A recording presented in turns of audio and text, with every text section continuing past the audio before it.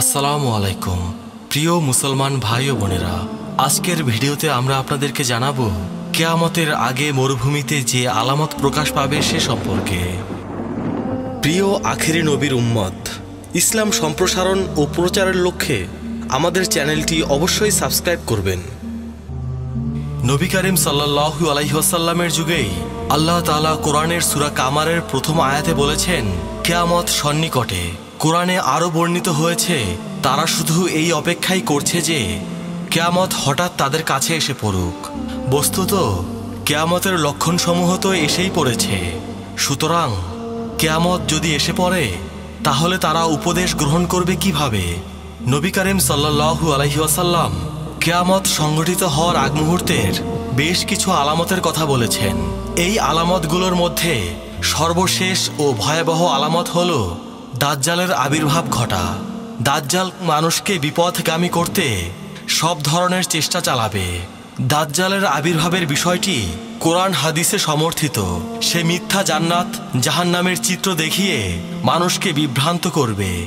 হাদিসের বর্ণনা মতে, দ্রুতগামী বাতাস বৃষ্টিকে যেভাবে চালিয়ে নেয়, দাজ্জালের চলার গতিও সেরকম হবে। এটা মুসলিম শরীফে পাওয়া যায়।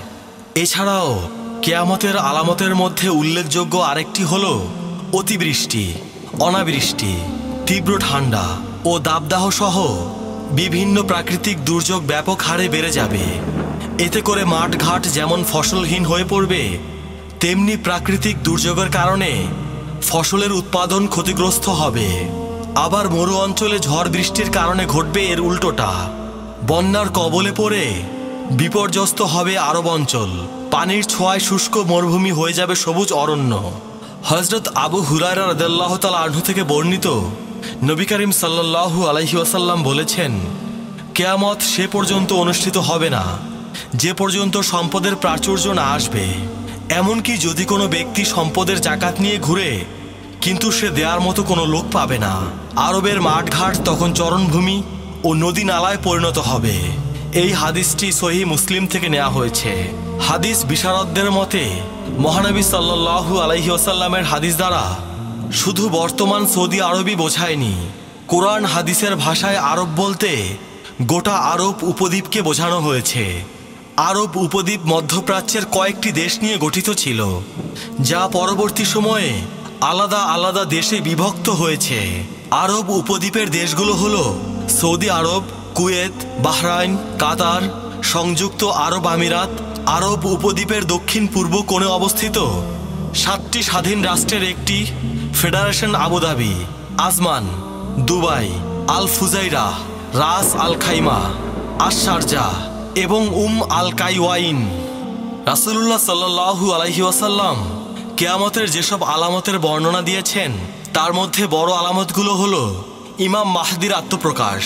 মিথ্যুক দাজ্জালের আবির্ভাব, ঈসা আলাহিসাল্লামের আগমন, ইয়াজুজ মাজুজের আত্মপ্রকাশ, পূর্ব পশ্চিম ও আরব অঞ্চলে বড় তিনটি ভূমিধস, বিশাল ধোয়া, পশ্চিম গগনে সূর্যোদয়, অদ্ভুত জন্তুর প্রকাশ, ইয়েমেন থেকে আগুন বের হয়ে মানুষকে তাড়া করে নিয়ে যাওয়া, ইত্যাদি।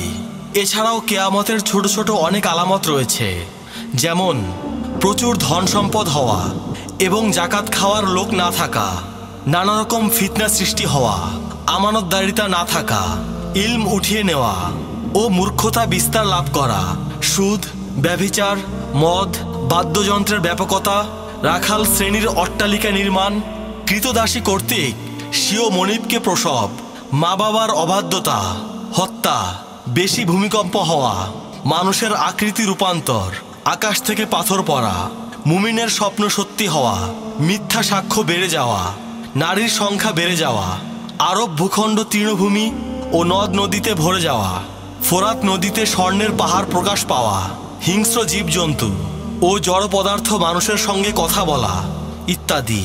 এই হাদিসটি বোখারি, মুসলিম এবং মিশকাত শরীফ থেকে নেওয়া হয়েছে। মহান রাব্বুল আলামিন আমাদের সবাইকে পরকালের আজাব থেকে রক্ষা করুন। আমিন। প্রিয় মুসলমান ভাই ও বোনেরা, আজকের ভিডিও এ পর্যন্তই। ইসলামের স্বার্থে চ্যানেলটি সাবস্ক্রাইব করতে ভুলবেন না। আর আরও কীভাবে আমরা ইসলামের জন্য কাজ করতে পারি, সেটা কমেন্ট করে জানাবেন। আপনাদের পরামর্শের অপেক্ষায় থাকব।